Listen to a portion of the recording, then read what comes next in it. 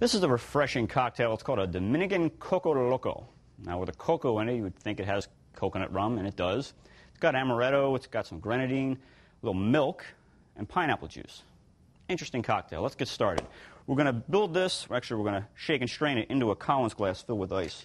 Let's get our shaker. Oh, it's right here. Thank you very much. Appreciate that.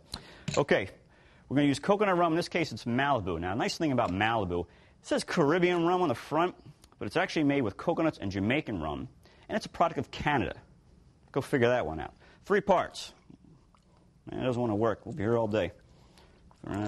Splash, splash, splash, splash, splash, splash, splash, splash. It looks like three parts. Good. One part of amaretto, like so. Let's get our splash of grenadine for a good old sweetness. A little bit of lake cream here. And we're going to fill some pineapple juice. Uh, that looks good. Let's see how my pouring skills are. Let's get our glass ready. Let's give this a good shake. And one of the reasons I like to mix it first and then strain it into a glass already with ice is that it won't dilute the drink any further because it's already been chilled and mixed. Look at that.